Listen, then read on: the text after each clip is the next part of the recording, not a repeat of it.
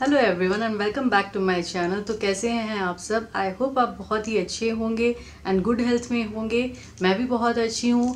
अगर आप मेरे चैनल पे नए हैं तो hello I am Jaya Sharma and मैं वीडियोस बनाती हूँ मेकअप से रिलेटेड हॉल ट्रैवल रिव्यूज़ तो आज मैं आपके साथ शेयर करने वाली हूँ रिव्यू एक हेयर रिमूविंग स्प्रे का, जो कि मुझे बहुत ही ज़्यादा इंटरेस्टिंग लगा, इसीलिए मैंने उसे ट्राई करने के लिए परचेज़ किया। इसका फुल डेमो भी मैं आपके साथ शेयर करूँगी। अगर वीडियो आपको पसंद आता है और हेल्पफुल लगता है तो मेक श्योर sure आप इसे लाइक एंड शेयर ज़रूर से कर दें। मेरे चैनल को सब्सक्राइब कर दें अगर इस तरीके के वीडियोज़ आपको देखना पसंद है। एंड नोटिफिकेशन बेल को भी ज़रूर से प्रेस कर दें, ताकि फ्यूचर में कोई भी नया वीडियो मैं अपलोड करूँ तो उसका नोटिफिकेशन आप तक पहुँच जाए। तो चलिए फटाफट से वीडियो शुरू कर लेते हैं। तो यहाँ पर मैं आपके साथ शेयर करने वाली हूँ इस हेयर रिमूविंग स्प्रे का रिव्यू तो इसका डेमो भी मैं आपके साथ शेयर करूँगी। तो पहले मैं आपके साथ शेयर कर देती हूँ कि किस तरीके से आप अपने हेयर रिमूव कर सकते हैं। तो ये बोथ मैन एंड वुमेन दोनों के लिए है। तो आउटर पैकेजिंग कुछ इस तरीके की है इसकी। तो जो एवर्टीन ब्रांड है, जो हेयर रिमूविंग क्रीम्स वगैरह बनाती है इंटीमेट हाइजीन के प्रोडक्ट्स बनाती है तो उसी कंपनी का ये प्रोडक्ट है, मैं आपको यहाँ दिखा देती हूँ लोगो लगाया हुआ है एवर्टीन ब्रांड का। तो बहुत ही अच्छे प्रोडक्ट होते हैं तो उसका ही ये प्रोडक्ट है। यहाँ पर मैं आपको दिखा दूँ पैकेजिंग कुछ इस तरीके की है इसकी। एंड इसकी जो एमआरपी है वो टू सिक्सटी है। एंड मैंने इसे थोड़े डिस्काउंट में ही परचेज़ किया था, मैंने इसे पर्पल से परचेज़ किया। तो मैंने इस तरीके का हेयर स्प्रे कभी यूज़ नहीं किया है। तो इसे यूज़ करने के लिए मैंने किस तरीके के रिज़ल्ट आते हैं एक्चुअल में हेयर रिमूव होते हैं कि नहीं, इसी को टेस्ट करने के लिए मैंने इसे परचेज़ किया। तो चलिए इसकी अंदर से पैकेजिंग कैसी है वो मैं आपको दिखा देती हूँ। तो मैंने इसको ओपन नहीं किया था अभी तक।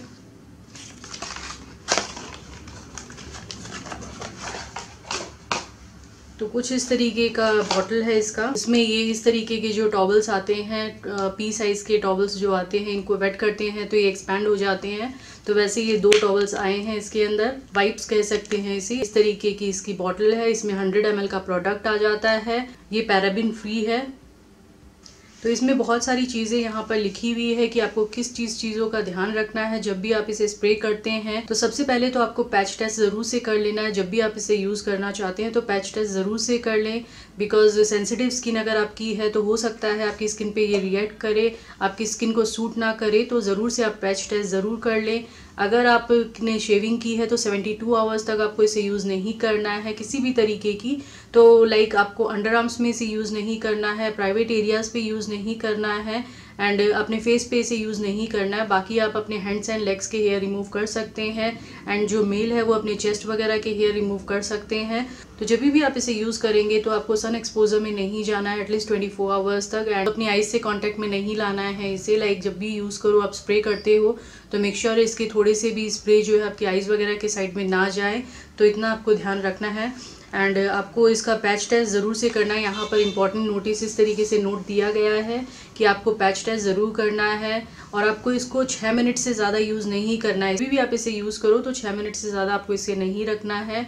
पाँच छः मिनट हो जाए, उसके बाद में आपको इसे क्लीन कर लेना है। लाइक वेट टॉवल से आप क्लीन कर सकते हैं। ये जो वाइप्स दिए गए हैं, उनको भी वेट करके आप इसे यूज़ कर सकते हैं। इसकी मैन्युफैक्चरिंग डेट यहाँ पर दी गई है। फेबररी 2021 की इसकी मैन्युफैक्चरिंग डेट है।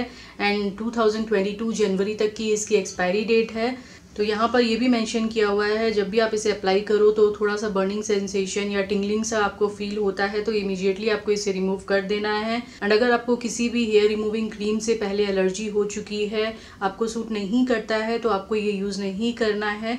तो बहुत सारे यहाँ पर इंपॉर्टेंट नोट्स दिए गए हैं। एंड जब भी आप इसे यूज़ करते हो, उसके बाद में आपको एटलीस्ट कुछ टाइम तक लाइक ट्वेंटी फोर आवर्स तक तो अवॉइड ही करिए। परफ्यूम या डिओड्रेंट वगैरह नहीं लगाना है आपको। और कोई भी सेंसिटिव एरियाज़ अगर आपकी है तो वहाँ पर आपको यूज़ नहीं करना है। अगर आपकी स्किन जो है वो सेंसिटिव है तो आपको इसे यूज़ नहीं करना है।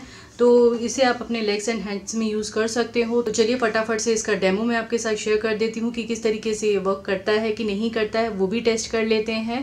तो सबसे पहले यहाँ पर मैं अपने हैंड्स पे इसे ट्राई करके देखती हूँ। तो गोल्ड वगैरह की जो भी ज्वेलरी वगैरह है, वो निकाल लें, उसके बाद में ही अप्लाई करें। तो यहाँ पर मैंने निकाल दिया एंड यहाँ पर मैं स्प्रे कर लूँगी अपने हाथों पे। अच्छी तरीके से मैं इसे स्प्रे कर लूँगी एंड पूरा इसे स्प्रेड कर लूँगी।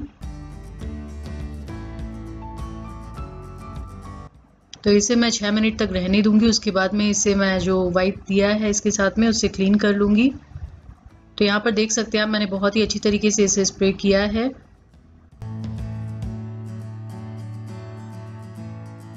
तो स्मेल जो है, वो जो हेयर रिमूविंग क्रीम वगैरह की जो होती है एग्जैक्टली exactly वैसी स्मेल आती है। तो ये थोड़ा सा चिपचिपा है, जैसे एग्जैक्टली जैसे स्प्रे होता है, पानी का वैसा नहीं है, थोड़ा चिपचिपा सा है। तो यहाँ पर ये जो पी साइज़ का वाइप दिया है, इसे मैंने पानी में डाल दिया ये अच्छी तरीके से एक्सपेंड हो गया है। तो एक्स्ट्रा जो भी पानी है, वो मैं निकाल दूँगी। एंड उसके बाद मैं अपने हैंड्स को इससे क्लीन करूँगी। तो यहाँ पर आप देख सकते हैं, मैंने पूरा पानी निकाल लिया है एंड इसे क्लीन करती हूँ एंड देखते हैं कि क्या रिज़ल्ट आता है हेयर हटते हैं कि नहीं। तो टू माई सरप्राइज़ इसमें मेरे एक हेयर भी निकल के नहीं आए, बिल्कुल भी हेयर रिमूव नहीं हुए। मैंने काफ़ी कोशिश की, अच्छी तरीके से वाइप्स क्लीन भी किया, जो टाइमिंग दी गई थी एग्जैक्टली exactly उतने टाइम के लिए मैंने इसे रखा भी बट हेयर बिल्कुल भी रिमूव नहीं हुए हाथ के। आप देख सकते हैं, मैं काफ़ी कोशिश कर रही हूँ कि हेयर रिमूव हो जाए बट वो बिल्कुल भी नहीं हुए।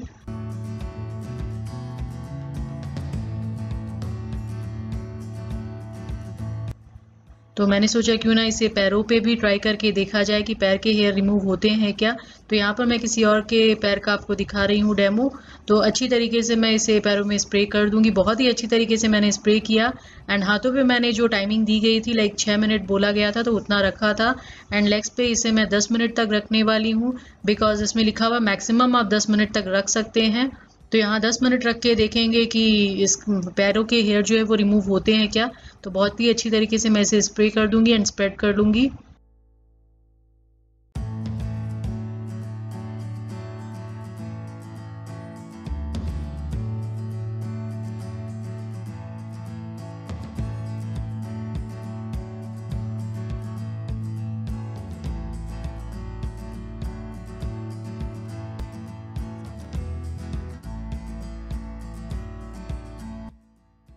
तो यहाँ पर 10 मिनट हो चुके हैं एंड अब देखते हैं कि हेयर रिमूव होते हैं कि नहीं। तो अगेन यहाँ पर मैं ये वाइप ले रही हूँ एंड इसे पानी में डाल के एक्सपेंड करेंगे। एक्स्ट्रा पानी निकाल देती हूँ। एंड देखते हैं हेयर रिमूव हो रहे हैं क्या। तो पैरों के जो हेयर है, वो जब मैंने हटाने की कोशिश की तो काफ़ी ज़्यादा हेयर आप देख सकते हैं रिमूव हुए। एंड इसे मैंने 10 मिनट तक रखा था, तब जाके हेयर रिमूव हुए तो मुझे लगा सारे हेयर अच्छी तरीके से हट जाएँगे। बट इसे मैं बार बार क्लीन करती गई तो आप देख सकते हैं, आधी जगह के हेयर हटे एंड आधी जगह के हेयर नहीं हटे तो पूरी तरीके से क्लीन नहीं हो पाया, जिसमें कि मैंने बहुत ही अच्छी तरीके से इसे स्प्रे किया था एंड ज़्यादा ही स्प्रे किया था एंड टाइम जो थी दस मिनट तक इसे रखा बट आप देख सकते हैं हेयर रिमूव हुए बट पूरी तरीके से हेयर रिमूव नहीं हुए। तो इस तरीके का प्रोडक्ट एक्चुअली मुझे ये उतना ज़्यादा पसंद नहीं आया। थोड़ी डिसअपॉइंटमेंट हुई बिकॉज़ हैंड्स के हेयर तो बिल्कुल रिमूव नहीं हुए। एंड पैरों के भी आप देख सकते हैं क्या हालत हो गई है। आधी जगह के हुए एंड आधी जगह के इसी तरीके से बच गए।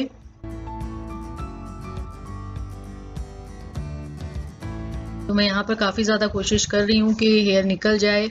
बट ये जो वाइप दिया था उसकी तो हालत ख़राब ही हो गई थी। हटाते हटाते बट ये हेयर बिल्कुल भी नहीं रिमूव हुए। तो ये हालत हो गई, आप देख सकते हैं पैरों की। तो आधी जगह के रिमूव हुए, आधी जगह के नहीं हुए।